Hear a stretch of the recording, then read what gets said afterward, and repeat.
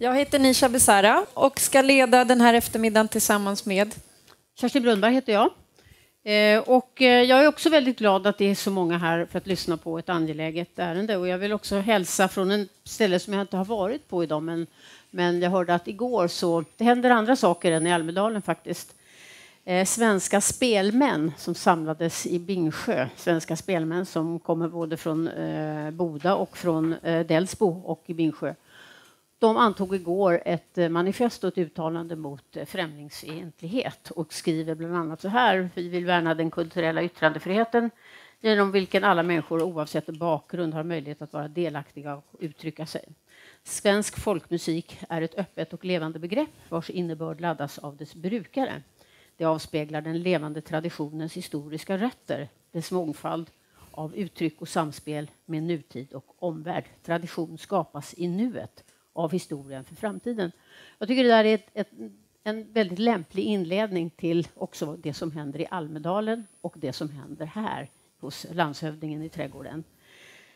Den här frågan om yttrandefrihet och eh, självcensur, eh, hot mot eh, konstnärer och journalister, det är ändå en förhållandevis eh, ny diskussion. För 20 år sedan så var den inte så aktuell. Sverige klarade sedan hem sin eh, grundlagsfästa tryck och yttrandefrihetslagstiftning i förhandlingarna med EU med bland annat den viktiga offentlighetsprincipen i behåll. Men sen, förändringarna sen på senare tid har varit både snabba och ganska dramatiska. Kanske inte så stora som, kanske nästan lika stora som de ändå var under andra världskriget. Internet, den globala världen och framväxten av rasistiska och populistiska rörelser är naturligtvis de samverkande faktorer som vi lever med idag med journalister och konstnärer som inte bara hotas utan dödas och att konstverk förstörs. De diskussioner som vi ska föra här tillsammans idag det är för att beskriva läget. Men det är också, också dels för att skapa medvetande men också en förutsättning för en utveckling åt ett annat håll. Därmed Nisha. Arrangeras av myndigheten... Där kom jag. Dagens samtal hela den här eftermiddagen arrangeras av Myndigheten för kulturanalys i samarbete med Samverkansrådet som består av Kulturrådet, Filminstitutet, Konstnärsnämnden, Riksantikvarieämbetet, Kungliga biblioteket, Nämnden för hemslöjdsfrågor och Riksteatern. Vi kommer ha fyra block med korta pauser emellan och en lite längre paus där i mitten, så jag hoppas att ni stolen, eh, solen står ut. Vi kommer också att öppna för publikfrågor i slutet av de tre eh, panelsamtalen. Så att om ni har någonting som ni går och klurar på, vifta till när vi säger att det är dags för, eh, för publikfrågor. Eh, vi kommer också att eh, ta upp ljudet från seminarierna och sända, sända alla samtal på webben sen. Så ni behöver prata i, i mikrofon för att alla ska kunna ta del av det som sägs. Eh, och den som vill använda sociala medier för att sprida allt det, som, eh, allt det kloka som kommer sägas på scen. Eh, vi har en hashtag som heter kultalm15, alltså kultalm 1, 5. Därmed så eh, är det dags för det första samtalet och den första panelen. Vi ska prata om kulturarv och främlingsfientlighet. Så frågor om nationell identitet har ju präglat det politiska samtalet i några år. Extrema krafter är väldigt upptagna med frågor om kulturarv, i det närmaste besatta. Och hur kan kulturarvsmyndigheterna bidra till ett mer inkluderande kulturarv? Eh, och hur ska man göra, de som vill använda kulturarvet? Hur ska man hantera de som vill använda kulturarvet för att exkludera människor istället för att inkludera? Med mig för att prata om det här har jag Klara Ålvik, Välkommen upp medan jag ropar upp er. Du är frilansande producent. Jan Nordvall, generalsekreterare för Sveriges hembygdsförbund. Eva Hansen, biträdande museichef på Malmö museer. Kesar Mahmoud, chef för kulturmiljöavdelningen på Riksantikvarieämbetet. Och sist men inte minst Berang Miri. Du är debattör och entreprenör och mångsysslare och kulturarbetare. Kan man säga. Välkomna upp ska ni vara.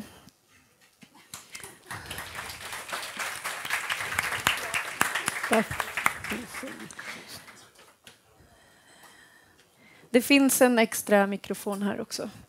Ehm, jag tänkte att, jag skulle, att vi skulle ställa en fråga var till er om era ingångar till det här ämnet. Och jag vill börja med dig, Klara, för du har skapat den här utställningen Ond design på Röhsska museet där du där du säger att du vill kontrastera mot att museer visar föremål som anses vara goda och fina.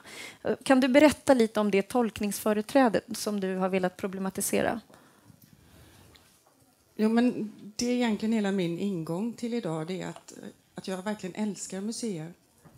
Det är faktiskt inte så många som gör det, som jobbar i museibranschen. Så intressant nog. Men, men, jag älskar verkligen museer. Och det som är intressant med museer det är också att man kan läsa hur man tänkte då i samlingarna, i arkivet, i dokument. Vad man har gjort, vad man har samlat på museer är det vi kan använda idag som en spegel till hur det blev så som det blev, till exempel med nationell identitet. Och designmuseer har ju samlat för att visa på vad man i de högre klasserna har ansett varit vackert och snyggt och vad de som har pengar har kunnat köpa sig. Och idag kan vi ju se att det har väldigt många andra historier som verkligen har någonting att lära oss idag om hur man har skapat en exkluderande grupp som har varit den som har pratat om vad som är god smak. Mm. Ja, eh, vi går till dig, Eva. för I utställningen Women Making History på Malmö museer så, så skildrar ni just något som ni upplever saknas i, i den officiella historieskrivningen. Kan du berätta om utställningen och lite vad ni har mött för reaktioner? Eh, vi öppnade förra året på Malmö museer en utställning som ja, heter Women Making History som handlar om immigrantkvinnors historia i Malmö. Det är så att det kom en eh, rapport från en forskare som heter Irene Andersson på Malmö högskola som säger att eh, det verkar som att det aldrig har funnits några kvinnor överhuvudtaget i Malmö om man tittar på de offentliga kulturinstitutionerna som Malmö museer där jag själv jobbar och så vidare. Och eh, då var det så att den första fristadsförfattaren som kom till Malmö, Parvin Ardalan, hon kom till oss med ett förslag om att jobba med immigrantkvinnors historia, så det gjorde vi. Och det var väldigt intressant att jobba med en feminist, en aktivist och att ta fram immigrantkvinnors historia istället för att vi själva bara på museet skulle göra det. Så jag, jag förespråkar väldigt mycket aktivism i det här och jag tänker på reaktioner är väl ibland inte, tyvärr ibland inte så väldigt många. Däremot kan det vara så här att de interna reaktionerna, vi anställde ju faktiskt Parvin Ardalan när hon kom till oss, pratade inte svenska och att det blir besvärligt i en kommunal organisation där människor urskiljer sig och man gör språket till ett väldigt stort problem. Även hon pratar alldeles utmärkt engelska, vilket de flesta av oss också gör. Och att man till slut hänger upp sig på detaljer för att inte förändra oss internt. Så exkluderande mekanismer finns även Absolut. internt i allra högsta grad? Det är där de finns. Ja, det är där de finns. Eh, Kesa, du jobbar på Riksantikvarieämbetet och på din avdelning så ska ni utveckla och hantera kunskap, jag citerar nu, och styrmedel för kulturarvets tillvaratagande i olika samhällsprocesser. Eh, vad innebär det? Är inte det ganska glasklart? Ja. Men, men skämt åsido, men i grund och botten handlar det om att alltså hela kulturarvsfrågan, det handlar om att koppla ihop tidsdimensionen. Igår, idag, imorgon.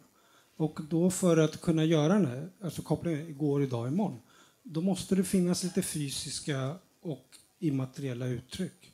Och det är lite det vi jobbar med, alltså både genom lagstiftningen och genom ekonomiska styrmedel och genom att påverka andra som jobbar med det. Hur, när du hör Klara och Eva berätta om det här exkluderande, hur, hur, hur, hur tänker ni i de här frågorna i ert arbete på Riksantikvarieämbetet? Jag skulle säga att den frågan är närvarande alltså hela tiden. För att jag håller med, det är klart att eh, många som jobbar med kulturarvsfrågan eh, glömmer bort egentligen att ställa vissa grundläggande frågor. Alltså jag har själv funderat på, jag, jag har ju varit nu fyra år på Riksantikvarieämbetet. Och innan jag började där så visste jag inte ens vad myndigheten gjorde eller vad kulturarvsfrågan, vilken laddning den hade. Och då hade jag ändå i tio års tid varit med och diskuterat identitetsfrågor på ett eller annat sätt. Så jag har verkligen ställt mig frågan, vad är det som har gjort att jag har kunnat till och med skriva en bok som heter Jakten på svenskheten, kunnat vara med och debattera eh, mångfaldsfrågor, identitetsfrågor, men aldrig ens kommit i kontakt med det här begreppet? Jo, det är för att jag har förknippat det som många andra med att det handlar om gamla saker eh, och saker som egentligen inte berör mig eller berör stora allmänheten. Så att jag tänker att den här frågan är ju är något som vi Mm. behöver hela tiden jobba med.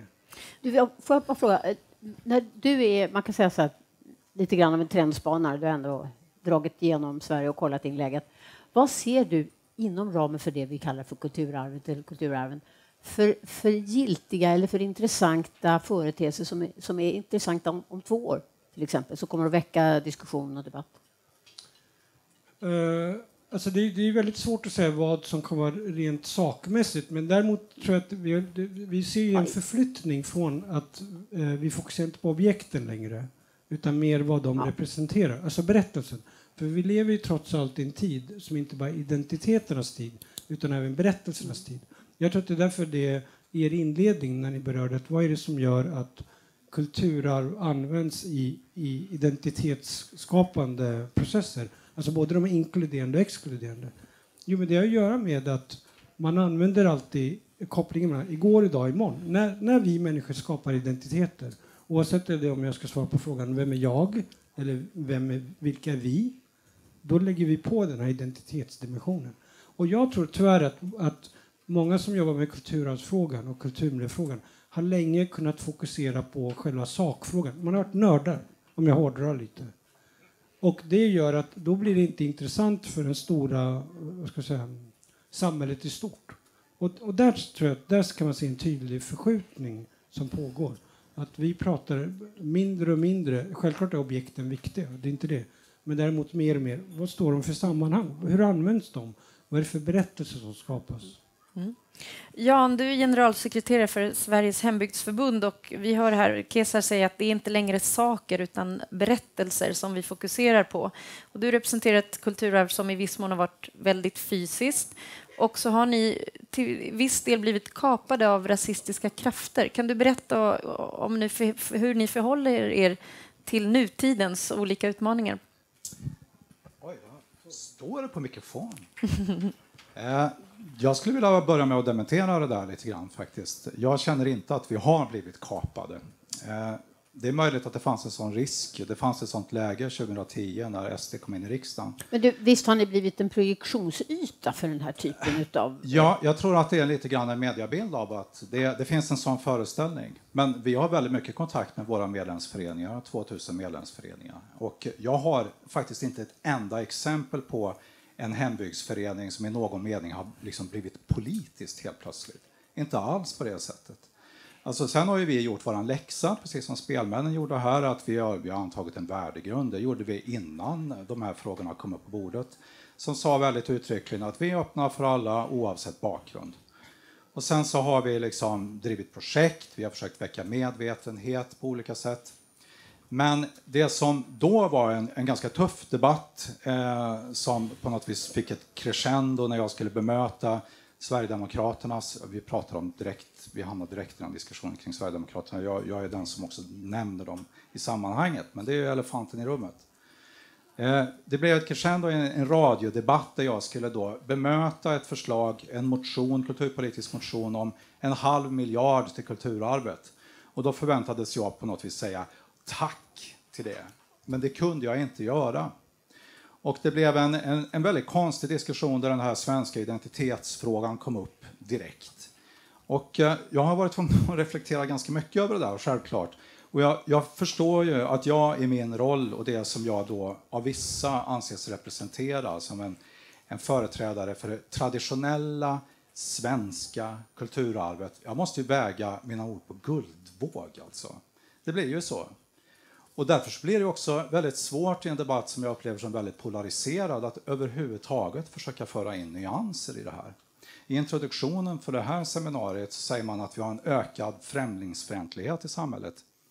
Ja, i en organiserad mening så har vi det, men SOM-undersökningen förra året pekar ju ändå på att toleransen i det svenska samhället så att säga ändå ökar, så sakta men säkert.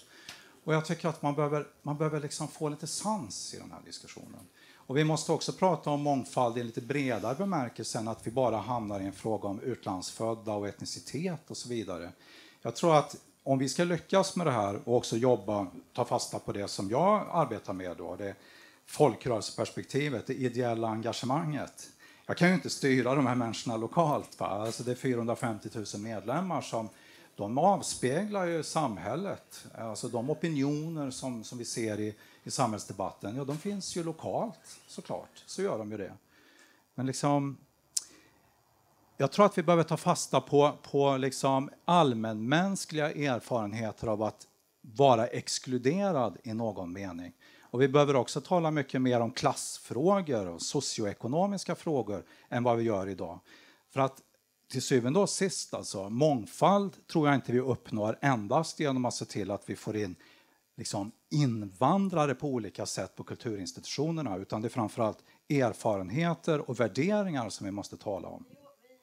Jag återkommer till dig. Jag vill släppa in dig, Birang. Du, på tal om nyanser och sans och balans. När du jobbade på Kulturhuset i Stockholm så tog du en berättelse med ett historiskt eh, en sak med en berättelse i eh, och flyttade den från en del i ett bibliotek till en annan del i ett bibliotek och det blev ramaskri. Vad är dina reflektioner kring det? Sverige är ju fördomsfritt men ändå mördas man när man poängterar att rasstereotyper påverkar barn.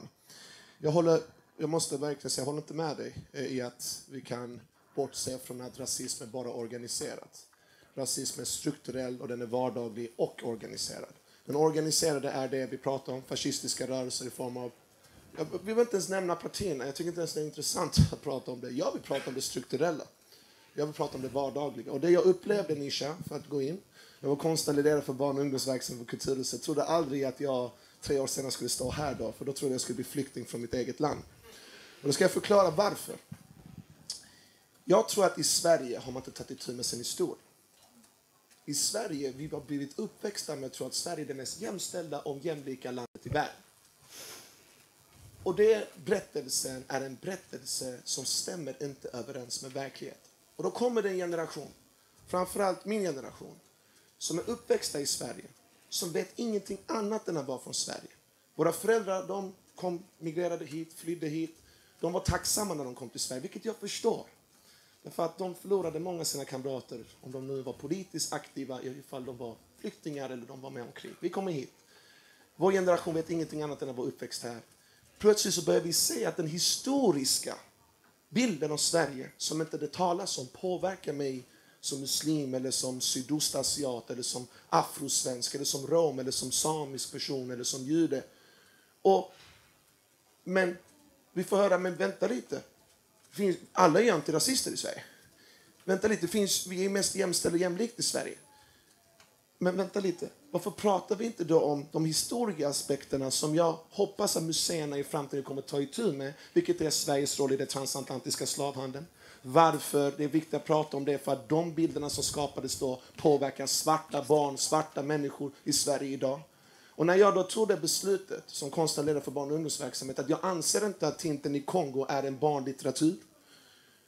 Det är liksom direkt skrivet ur ett kolonialt aspekt. Det handlar om hur kung Leopold, 20 miljoner människor massakrerade, hur denna eh, projekt som Hertz fick från en belgisk tidning var för att glorifiera belgisk kolonialism i Kongo. Och vi anser att då, vänta lite, barn har inte den förmågan att placera berättelser i kontexter. Barn har inte den kontextuella förmågan. Vi som vuxna måste hjälpa dem. Och därför placerar vi det i en hylla för lite äldre barn, ungdomar, vuxna. För jag är inte för att vi tar bort detta, jag är för att vi tar den här berättelsen, placerar det i en postkolonial kontext så vi verkligen kan förstå hur man under så många tider historierevisionistiskt tagit bort det eh, faktum att Europa har kolonialiserat världen och de här bilderna som även Sverige varit en del av påverkar oss idag. Jag vill inte att barn ska behöva ha det självhatet jag hade när jag var liten. Och det är därför jag vill penetrera denna bilden på riktigt. Och jag hoppas att vi tillsammans kan ta itu med den se till att vi tillsammans kan faktiskt jobba med exempelvis Tintin i Kongo med barn, men utifrån att vi har en pedagogisk verksamhet kopplat till det och inte bara lägger det där okommenterat. För då kommer du börja hata dig själv så som vi vet hur olika stereotyper funkar, barn och vuxna. Jag som vuxen, jag kan prata, jag kan titta, jag kan läsa allt. Och det är helt okej okay för mig, för jag kan placera det i olika kontexter. Jag har den kontextuella förmågan. Jag kan läsa Mussolinis fascistiska bok utan att bli fascist. Jag vill veta var han kommer ifrån. Barn har inte det där. Och anledningen till att jag säger detta är för att jag tror verkligen att det här är någonting som är så förtryckande. Jag upplever det när man inte tar itu med det. Och jag vill att museerna och jag vill att verkligen alla institutioner börjar prata även om den delen av Sveriges historia som man har tagit bort. Och jag vill ge en stor eloge till Mångkulturellt centrum som faktiskt via sina utställningar har tagit itu med den här bilden av Sverige och försöker problematisera. För enda sättet för oss att tillsammans gå framåt är att problematisera och på det sättet förstå var de här historiska bilderna kommer ifrån, hur det påverkar vår samtid. Och när vi väl har problematiserat, då kan vi försonas och tillsammans komma framåt. Tack. Rädd Centrum, eh, så såg du föreställningen X? Jag såg den, ja. Ja, för den eh, tar ju upp en del av, av det som du tar upp. Ja. Jag måste bara fråga en sak. Finns det någon kort slutsats som du kan redovisa för oss e- e- efter den här händelsen? Det har gått några år sedan. Mm. Och jag vet att det var en, en, rätt omtumlande eh, historia Ja, för din del. hjälpte men, men, eh, men jag skulle vilja veta om, om det finns någonting som du eh, speciellt drog som lärdom av det där? Min lärdom är just att vi måste börja prata om det strukturella på riktigt. Alltså jag fick inte bara drev från Sverigedemokrater. Jag fick drev från både högermänniskor och även vänstermänniskor. Och att raljera av, eh, när det gäller identitetspolitik, det är någonting som jag kan inte förstå. Därför att jag är helt inne, vi måste prata klass, jag håller med dig. Vi, är, vi lever i ett samhälle där vi inte pratar klass. Men jag tror att vi lika mycket måste börja prata om ras som social konstruktion, kön, könsidentitet, funktionalitet, ålder, religionstillhörighet. Alla de aspekterna påverkar oss. Och jag tror att det har blivit bättre nu, Kerstin, för att vi har haft många debatter sedan dess. Vi har haft allt ifrån Lilla hjärta till Reva till Pippi till allt det här. Det kommer, börja till, det kommer på, på väg till ytan. SVT tog beslut att uppdatera. Kom ihåg också hur vi debatterade. Det handlar om att vi försöker koppla detta till censur. Vi vill inte censurera. Vi som driver de här frågorna, vi är för yttrandefrihet. Vi menar bara på att det måste vara yttrandejämlikhet. Och inte att någon får yttra sig på mina bekostnad. Och därför att när man väl ser att vi har liksom diskuterat så märker vi så vilka ord använder vi. När vi liksom försöker uppdatera, jag älskar Pippi men jag tycker just att det här eh, avsnittet är ganska problematiskt när man Pippi plötsligt kolonialiserar en, en ö i Södra havet och där svarta barn ska lyfta Pippi. Det är en ganska problematisk bild, eller hur? Och då väljer SVT, vilket är väldigt bra, att uppdatera istället för att använda ordet en så säger man något annat. Och då blir det plötsligt att man censurerar och att man, man raderar och att man liksom får bort. Och det är där jag menar på att vi måste använda nya ord när vi uppdaterar. Vi måste ta itu med vår historia. Vi ser museerna prata om Gustav III, inte bara som teaterkung utan även som en slavkung. För han var en av de som initierade Sveriges råd i det transatlantiska Eva, slavandet. du eh, viftade ganska tidigt i, i Berangs berättelse här. Vad var det du reagerade på? Nej, jag tycker jag vill bara jubla. Jag tycker det är jättebra. Jag tänker så här. 17 miljoner museibesök görs det i Sverige. Förra året tror jag det var Analysmyndigheten kom fram till det. Det kan vi slå oss för bröstet för, men jag är snarare så att jag blir lite rädd när jag tänker det. För det är 17 miljoner besök, det är en massa barn. Och vad vi gör på museerna, vi är väldigt normerande. Det är väldigt vitt, det är väldigt medelklassigt, det, är, det finns inte så mycket funktionshinder och eh, ras definieras inte, och pratas inte om. Och man kan prata dels om hur vi ser ut internt. Vi är så icke mångfaldiga så vi kan inte ens se på museerna betydelsen av att vi skulle vara mer mångfaldiga i vår personal. Och när vi tittar på vad vi producerar så är det så oproblematiserat. Det är så få perspektiv i det, så jag blir faktiskt lite rädd ibland. Kesar, du jobbar ju ett dagligdags med kulturarvsfrågor. Kan du berätta varför de är så heta just nu? Varför är vi så upptagna av detta? Nej, men jag tror att det beror på lite, som jag var inne på, att vi lever i, en tid när identiteter är viktiga. Och varför är identiteter viktiga? Jo, för att vi alla tvingas på ett eller annat sätt ställa den här frågan. Vem är jag? Eller vem är du? Vem är jag? Vilka är vi? Eh, förr behövde man inte göra det på samma sätt. Och det är så att när människor återigen svarar på frågan Vem är jag? Då använder de igår, idag, imorgon. Och jag tror att, lite som jag varit inne på, att i Sverige har vi länge haft en föreställning. Ett är så här, vi behöver inte den här berättelsen om viet. Eh, därför har de etablerade lämnat den berättelsen. Och då kommer andra krafter in och fyller den med ett innehåll. Det är det ena. Och det andra är just att vi tänker att men vi är det världens modernaste land. Och vad gör ett land som är modernt? Jo, den blickar framåt, inte bakåt. Och då blir det också att historia, det blir något som man går och tittar på museer och blir väldigt objektifierat. Eh, så att där finns det hela tiden ett behov av att tänka att Nej, men där, igår, idag, imorgon, det gör vi vare sig vi vill eller inte. Det är en röd tråd vi alla kommer trä. Och om inte vi medvetande gör, då, blir, då, kan det, då kommer någon annan göra det. Och beroende på vilka materiella uttryck som finns. Jag brukar tänka på att mycket av det vi jobbar med, det är, eh, är liksom legobitar. Eh, eller, eller rekvisita för en teaterpjäs. Och, och är det så att vi bara bevarar fyra, fem rekvisita, då kommer man bara kunna spela upp en viss uppsättning av berättelser. Så att vårt jobb är egentligen att möjliggöra, inte bara ladda om det Berang var ute efter, utan även att det ska finnas en, en mångfald av rekvisita så att fler berättelser kan skapas i Sverige. Mm. Jan, du blev ju lite motsagd av, av Berang. Du får gärna svara på det, men jag tänkte också på en sak som du sa som jag reagerar på att dina eller era medlemmar, 450 000, det är nästan en halv miljon. Du sa att de representerar samhället. Är det verkligen så att medlemmarna i Sveriges hembygdsförbund representerar Sverige så som Sverige ser ut idag? Nej, det var, det var inte det jag sa. Och det, det är just det här jag menar, det är oerhört lätt att bli, bli missförstådd i en sån här debatt. Va? Jag, sa, jag förnekade inte att det finns en strukturell rasism. Jag, jag, jag tog upp den fakta som SOM-institutet presenterar i sin rapport att främlingsfientligheten de facto minskar, så att säga. Men det innebär inte att jag förnekar att det finns en strukturell rasism. Jag säger inte heller att hembygdsrörelsen representerar samhället. Jag säger att de avspeglar samhället på olika sätt. Och då är ju liksom de flesta aktiva i hembygdsrörelsen är äldre. Många bor på landsbygden. Och då avspeglar de den typen av problem och strukturförändringar som landsbygden är utsatta för och mindre orter på olika sätt.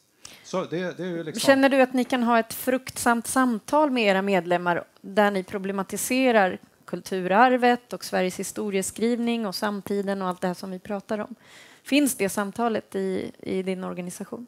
Det samtalet finns definitivt. Men, men det som är viktigt att förstå när det gäller den här folkrörelsen är ju att den är det är lätt att man klumpar in den i det här kulturarvssammanhanget. Eh, och vi, vi, får ju, vi, vi räknas på något vis i den statliga stuprörspolitiken som en kultur, kulturverksamhet. Men vi får pengar från eh, Naturvårdsverket. Och vi, vi har ju, alltså det som är gemensamt för hem, hembygdsföreningarna är ju egentligen det lokala engagemanget. Man bryr sig om hembygden, man bryr sig om platsens miljö, sociala liv, historia och så vidare. Det, det är ju det det, det, lilla, lilla lokalsamhället, det som en gång i tiden var socken kan man säga. Och där socken där man fick ta hand om en del av det, den välfärd som sen har tagits hand om av, av det offentliga så att säga. Det var i socken som, som man började med fattigvården och så.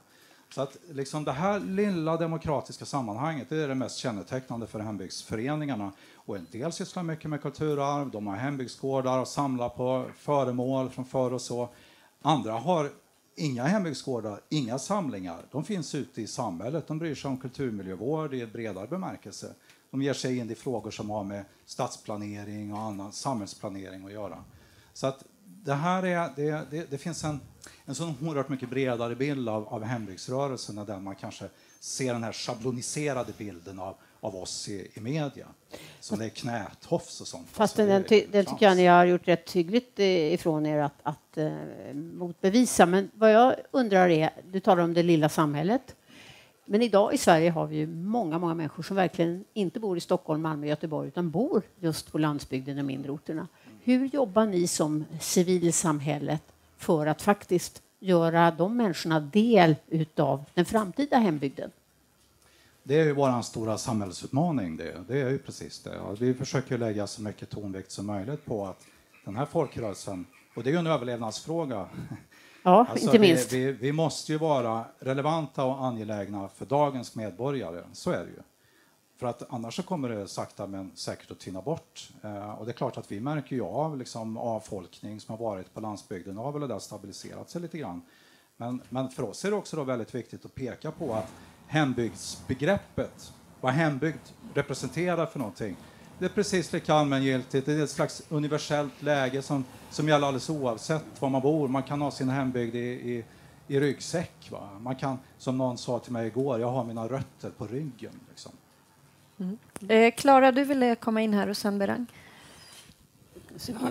Jag funderade på vad någon slags motsatstänk som jag vill koppla lite till både dig, Eva, och dig vad ni pratar om här. För jag tänker, det du var utsatt för med Tintin var en väldigt ögonöppnare för mig. det mest fascinerande var, jag var väldigt ny på Twitter och det var mitt första Twitter-rage och jag gick ur nästa föl slutade följa halva svenska kultureliten. För det verkar faktiskt på största allvar som de trodde att alla bibliotek i hela Sverige hade alla böcker. Den djupa okunnigheten om att vi lever i ett kurerat kultursamhälle. Det är inte så att alla museer visar alla sina saker, alla bibliotek har alla böcker. Det är kurerat, det är ur, ett urval som har gjorts. Och det är samma med museerna. Att det som är intressant i den här diskussionen det är ju att museerna har ju någon slags Alltså, man kan säga att skapandet av nationell identitet och normalitet det är ju den främsta grenen inom museerna. Det är ju deras absolut, det är det de kan bäst, för det är det de har haft som uppdrag att göra i väldigt lång tid. Det är att vara en institution som skapar nationell gemenskap och som därmed definierar vad är svenskt, vad är normalt, hur är det vi ska vara mot varandra i det här samhället. Men däremot, därför är ju också museerna fantastiska, vill jag då egentligen också säga till dig, att vi har så många besökare. Och vi finns i hela landet och vi finns även i små orter. Och vi används och brukas. Vi behöver inte vara eh, deltagare i en organisation, vi behöver inte ha religiös tillhörighet. Många är faktiskt gratis, inte minst de små kommunala. Och så vidare. Det finns en mötesplats där vi kan prata om detta, hur vi har format vår nationella identitet. Eller vad är, varför kallar vi vissa saker normala, andra inte? Och den finns där och den måste bara egentligen handlar det mer om att museerna själva ska våga vara lite modigare i att ifrågasätta sin egen kurering. För man har faktiskt kurerat. Allt det man visar på museerna idag har man valt med en anledning. Och då måste man kunna välja någonting annat det, av en annan anledning. Det redaktörskapet och det kuratorskapet, jag kallar det för redaktörskap i, i analogi med medierna, men, men är det tillräckligt eh, på tå, tycker du, för nutiden? när det gäller det de här frågorna? Inte tycker. Nej. Och det kan vi säga att On Design var ju till exempel det var ju tänkt som ett utvecklingsprojekt för hela museet, hela Röhsska museet, att börja prata om att de här tingen har andra värdegrunder, har, har andra berättelser än den berättelse ni vanligtvis använder. Och det, så vi höll ju på i två år och det var väldigt mycket en kompetensutveckling. Och den tycker jag behövs i mycket, mycket högre grad på museerna. Berang, du ville komma in här. Ja, jag kan också svara på en fråga till ifall ni hade, men tack, verkligen. Eh, du har så rätt. Och jag, jag, jag, kan ställa en fråga till dig. Igår okay. kom Myndigheten för kulturanalys presenterades en ny undersökning som visar enfalden i Sveriges kultursektor. Och eh, Staffan Forsell, generaldirektör på eh, Kulturrådet, sa riv ner alla institutioner och bygg upp dem på nytt. Hur ska det här göras, tycker du?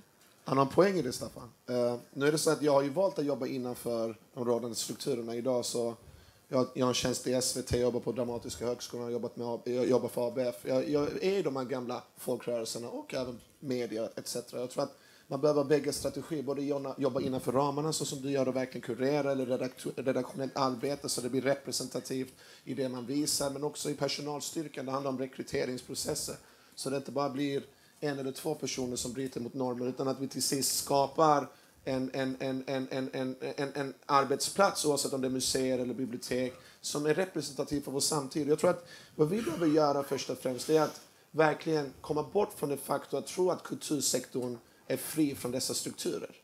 Jag har ibland en uppfattning, jag vet inte om ni håller med mig publiken, i så får ni säga emot, att ibland så tror man att ja, kultursektorn, det finns inga fördomar, det finns ingen rasism eller sexism eller homofobi, transfobi, queerfobi funkofobi. Jag försöker vara politiskt korrekt, förlåt om jag glömde någon av de här diskrimineringsgrunderna. Uh, uh, och att liksom, vi är, vi är, vi är, vi är liksom per automatik borta från det. Alltså, det, finns, det finns bara inom liksom, byggbranschen. Typ. Alltså, mm. ibland så, och det är, det är lite klassförakt att liksom, titta så. Och jag tror att vi måste börja titta på oss själva och jobba med oss själva och sen därifrån komma med olika typer av alltså satsningar. Hur kan man jobba med kompetensbaserad rekryteringsprocess när det gäller personal? Det har inte fem, en jättebra feministisk rörelse. Eh, väldigt bra metoder på hur man kan arbeta detta. Hur kan vi se till att också, för jag ska vara lite mer positiv nu som jag var från början. Jag, jag, jag tänker så här, vad kan vi göra tillsammans nu och framåt? Jag är svensk muslim. Eh, alhamdulillah, jag är muslim. Jag ska normalisera. Alhamdulillah, tack Gud. Och jag märker än idag att när jag kommer i vissa sammanhang så har man ingen som helst koll på vad islam är. Vi tror att islam är lika med Isis eller lika med Ramadan och Jihad. Typ. Det är de tre bilderna vi har av islam. Trots att islam, en religion som, som, som följs av 1,7 miljarder människor ungefär, har varit en naturlig del av Europas utveckling. Varför har vi inte fått höra detta i vår skola eller i museer? Varför gör vi inte då en jättestor utställning om Cordoba och den muslimska Al-Andalus, exempelvis, för att förklara att islam har varit en naturlig del. Jag är ute efter att normalisera, mina vänner. Jag är inte ute efter att exotifiera, jag är ute efter att normalisera. Normalisera, förlåt, låt mig ge en sekund till. Normalisera samtidens Sverige utan att kommentera och när vi väl ska kommentera göra det på rätt sätt. Jag tror att glesbygden och förorten har mycket gemensamt. Vi borde samarbeta här utifrån utsatthet. Men jag tror också att vi har mycket att lära oss från USA där man har tagit itu med sin historia på ett helt annat sätt. Och där det, I många av de här debatter vi ser i Sverige hade aldrig varit debatter i USA. Och sist men inte minst, det finns många i civilsamhället som har den här kompetensen. Samverka med civilsamhället och se till att tillsammans skapa en plattform där museerna blir en plattform för oss och där vi faktiskt kan få betalt för att utveckla, där vi blir producenterna, vi blir projektledarna och inte andra som gör arbetet för oss. Tack Berang. Ganska snart ska vi släppa in publiken. Först ska jag ta en frågerunda Eh, till dig Kesa behöver vi riva, upp, eh, riva ner för att normalisera. Sen ville du Eva komma in och du Jan viftade. Håll det ganska kort nu för nu har vi 11 minuter kvar och jag är säker på att publiken har massa intressanta frågor. Eh, ja, varsågod Kesar. Jag, jag eh, tror inte att man behöver riva, riva, ner, men jag tror definitivt, som ni är inne på, att man behöver verkligen se över vad är det för värderingar man har bakom urvalet. Alltså, steg ett, man blir medveten om att man gör ett urval. Och det är för, jag är väldigt förvånad över kommit in också hur lite man är medveten om att man faktiskt gör ett urval. För man, man ser sig själv som en profession där, som är vetenskaplig, alltså som stoppar in något här och så åker ut något som är vetenskapligt korrekt där borta. Det är nummer ett. Och nummer två är verkligen det med ja, men vilka är det som jobbar där? För att det är klart att och, och, våra erfarenheter styr ju såklart vad det är vi väljer att titta på eller vad vi väljer ut. Eva, eh, jag måste bara fråga. Eh, den där utställningen som du gjorde tillsammans med Parvin Ardalan där. du talade om siffror, siffermagi. Eh, inga kvinnor, ingen kvinna bor i Malmö. Men det, hälften av människorna som bor i, i Malmö är kvinnor. Drygt 40 procent är människor med en annan härkomst. Ändå möttes ni av väldigt mycket kritik för den där eh, och ifrågasättande hot och sådär. Va, va, va, vad tror du det berodde på? Ni gjorde ju det som vi efterfrågar. Alltså, I Malmö är det ju så att en sjättedel av Malmöborna är just immigrantkvinnor. Ja. Så att ja. det är ju väldigt märkligt. Nej, men, eh, jag tror att det handlar väldigt mycket om det här med... Det finns någon form av gammal företrädesrätt när det gäller museer. Det finns en viss grupp människor som har en större rätt till kulturarv och till museer än vad andra har. Och jag tror att det är vi internt som släpar med oss den här gamla Förväntningar från en viss publik? Jag, jag, tror att vi släpper med oss Jag tror egentligen inte att trycket är så hårt från publiken. Utan jag tror det är vi själva som är så enormt rädda för den här gamla företrädesrätten. Så att vi målar upp problem som kan komma när vi egentligen har ett jättestort demokratiskt problem att ta tag i just nu. Och jag tror vi har jättesvårt att göra det själva eftersom vi inte är mångfaldiga på något vis, vi som jobbar på museerna. Så att, jag vet inte om jag vill riva institutioner, men jag brukar säga att vi faktiskt måste riva hierarkier. Och vi måste bli mer aktivister på museerna. Och vi måste riva stuprören och, och alla strukturer. Det tror jag. Mm. Jag vill applåda. Jan, varsågod. Uh, ja, tack. Alltså, föreningslivet representerar en enorm styrka i det här. Det är ju en demokratiskola. Så det, det är ju någonting som man absolut måste vara väldigt rädd om, tycker jag. Och där tror jag absolut att vi, vi behöver bygga. Vi var på ett seminarium alldeles nyligen där borta i Ideella trädgården. Vi pratade om, ja. Det handlar ju om att liksom bygga på det väldigt lokala, ta fasta på ett engagemang. Och vi kan ju som en, en eh, liksom gammal hederlig folkrörelse så att säga, hjälpa till och skapa liksom, eh, strukturer för att hjälpa folk att formera sig och så att säga, organisera sig som aktivister i det här. Men jag, jag vill säga lite grann om den här diskussionen är ju att den är och det hörde jag ju dig säga på det här förra seminariet också. Mm. Att du, jag var i en panel alldeles En väldig frustration över att här står vi och diskuterar samma sak och vi kommer att göra det här igen om tio år och så vidare. Ja, jag tror att man i efterhand kommer att se den här debatten lite grann i det här ljuset av att den, den, liksom vår självbild, den här svenska självbilden har liksom fått sig en knäck eh, lite grann och det, det var väl, alltså fram till 2010 så var vi rätt så överens i kulturpolitiken. Den största liksom, tvisteämnet handlar väl på något vis om om man skulle ha ett kulturpolitiskt mål, att vi skulle motverka kommersialismens negativa verkningar. Så att säga. Det var liksom en höger-vänster-skala i den diskussionen. Nu kommer det in ett helt annat ifrågasättande. Och det leder till en sån här diskussion där vi i kulturlivet då, som har varit ganska så trygga så här, och kanske inte riktigt behövt ifrågasätta våra värderingar. Ja, nu måste vi göra det och nu måste vi formulera oss. Vi måste liksom tala om varför samlar vi på kulturarvet? Vad ska vi ha det till? Vad har vi en kulturpolitik till? Hur når vi ut till medborgarna? Alltså det är en oerhört nyttig diskussion.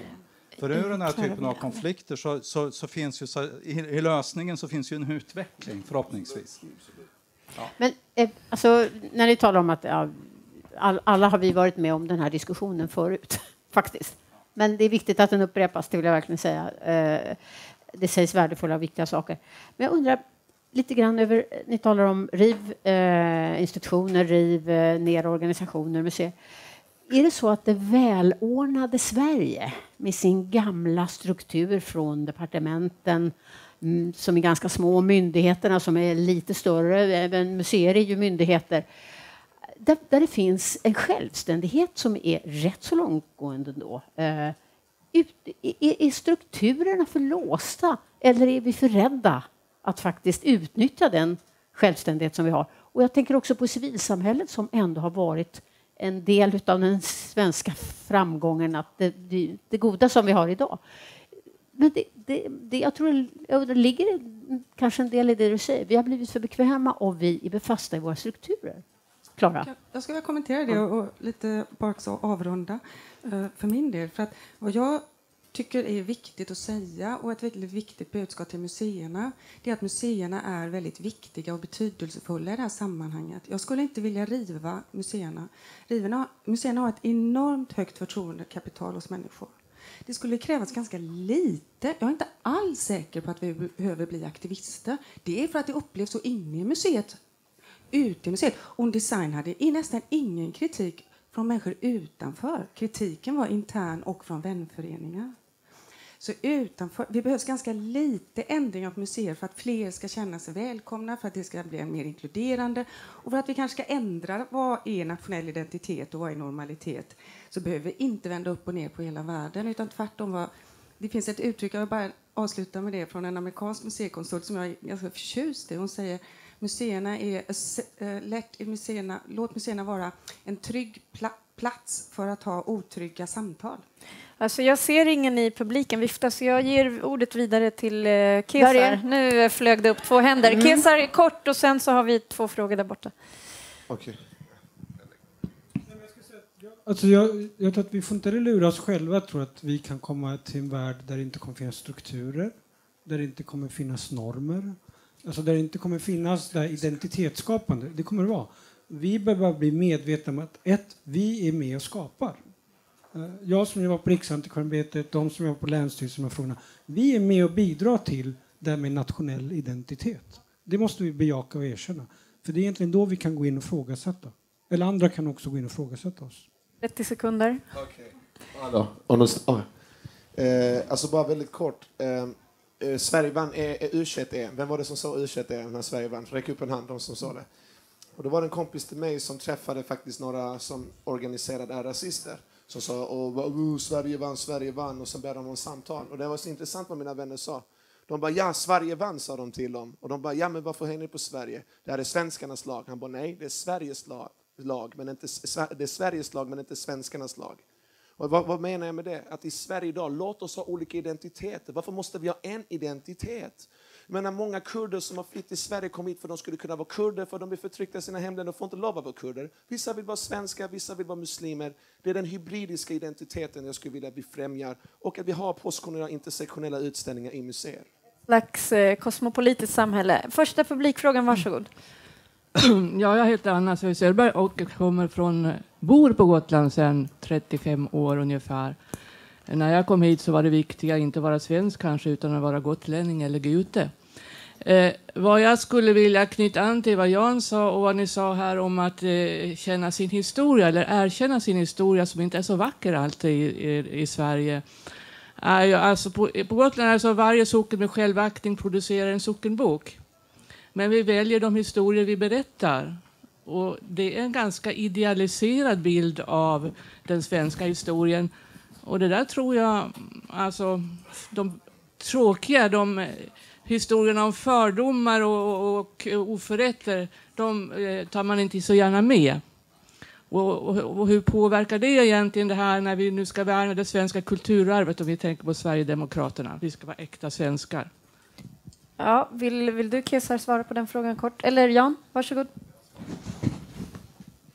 Det är ett, en väldigt stor utmaning för hembygdsrörelsen att komma bort från, från det här idealiserande och tillbakablickande och på något vis nostalgiska bilden av, av vårt kulturarv. Eh, ibland så talar vi om den strävsamma bondens historia i de här sockenböckerna. Alltså, här pratar vi om svenskt kulturarv, Sveriges kulturarv. Jag skulle säga att en insikt hos mig sen de senaste åren är att ja, vi sysslar med den lokala identiteten. Vi sysslar inte med någon svensk identitet. Utan vi bygger på det lokala och hembygdsföreningarna är väl lokalpatrioter. Det är så att säga deras egen socken, deras egen hembygd. Det är liksom det bästa. Det är, det är liksom platsen på jorden. Så att eh, det, eh, men, men den svenska identiteten, jag tycker vi ska vara oerhört liksom, eh, rädda för att man från politiskt håll börjar formulera på vilket sätt, hur vår identitet ser ut. Och det, det gäller alldeles oavsett från vilket politiskt läger det kommer, så att säga. Jag menar, det måste vara upp till var och en att bilda sig en egen uppfattning och formera sin egen identitet. Det ska ingen annan tala om för mig på vilket sätt jag är svensk eller på något sätt vilka värderingar jag har för att jag är vit medelålders man med mina rötter i Sverige. Alltså det, det är ju att förminska mig som individ i så fall. Alltså jag kan tycka att det vore en skrämmande utveckling om vi slutade prata om nationella identiteter. För det, man måste komma ihåg, lite som Klara var inne på, museerna, Riksantikvarieämbetet, länsstyrelserna, alltså ett antal statliga myndigheter. Det de gör, det jobbar med den nationella identiteten. Det ligger liksom grundläggande i vår roll. Sen är det klart att, att vara svensk idag betyder något helt annat än vad det, gör, vad det var tidigare. Men det sker alltid eh, alltså en selektion. Och den är alltid skönmålad. Så där ser det överallt. Men det är bara det att jag tror att vi är i ett läge där vi kan lyfta fram många olika berättelser. Men jag tror att börjar vi, le, börjar vi skapa en retorik, hur bra den låter, så här, nej, men det är bara den lokala och låt oss vara världen. Då kommer problemet vara att då kommer någon annan gå in och skapa den här nationella berättelsen. Mm. Och Tack, den kommer att explodera. Ja. Eh, nu har vi snart börjat knapra på vår lilla bensträckare, men vi tar en eh, kort publikfråga till. Helene Fuchs, eh, tankesmedjan Humtank. Ja, det görs ju jättemycket bra på museerna. Men man förutsätter alltid att folk kommer dit, till de fysiska museerna. Och eh, man använder inte nätet och hemsidorna alls i den grad som man skulle kunna göra. Alla är uppkopplade i Sverige, nästan. Och jag ser att det liksom laggar efter jättemycket där. Alltså att inte bara visa sin samling på kanske tre miljoner eh, föremål utan kurerade utställningar med en avsändare på hemsidorna. Det är någonting som jag tycker är jätte, jätteviktigt för att nå fler. Så om ni vill kommentera det? Ja, jag har en väldigt kort kommentar till det. Uh, och det mm. är att uh, vi på museerna får de besökare vi förtjänar. Men, uh, det, det, det, det blir, vi får bara du, de, Jag får bara fråga, det digitala museet, är det, är det det du talar om? Både det man kan bygga själv som publik och, och det som museerna lägger ut i det digitala museet? Alltså, jag menar det, att görs i princip inga kurerade utställningar på hemsidorna. Det, det laggar efter med tanke på det man gör på de fysiska museerna. Det är ett glapp där som är jätteallvarligt. Tycker jag. Jag, tror, du har, jag tror att du har alldeles äh, rätt i det. Att man kan för jag ja. hann inte fortsätta. Och det är lite det, vad jag vill säga med det att vi får de besökare vi förtjänar. Det är att museerna har svårt att hänga med i var besökarna befinner sig. Man är väldigt svag på omvärldsanalys. Och det gör att även om man har möjlighet att göra eh, saker som attraherar många fler och kanske andra grupper så har man inte kunskapen om att göra det eller vetskapen ens om att det går. Bara kort, det finns mycket kunskap hos civilsamhället. Kom fram och låt oss snacka. Jag kan ge dig relationer till många som kan hjälpa er, många grymma rörelser. Så jag vill bara bjuda upp för det. Eh, tack eh, panelen. vi kunde fortsätta länge, men eh, det här var bara en teaser för det samtal som ni bör föra bland er eh, Eh, med utgångspunkt från den här eminenta panelen. Eh, låt mig säga, jag drog, ta, ta till mig det som ni har sagt. Museer kan vara förändringsagenterna. Museerna ska inte underskatta publikens, att de begriper någonting och fattar någonting och faktiskt är på. Och sen tar jag med mig det som du sa, de digitala verktygen och den digitala möjligheten är ett otroligt bra sätt att förfölja publiken med kan jag bara säga. Och, Tack så mycket. Eh, som tack för att ni har deltagit så ska ni få ett värdebevis för en gåva till Reportrar utan eh, gränser från arrangörerna för dagens samtal.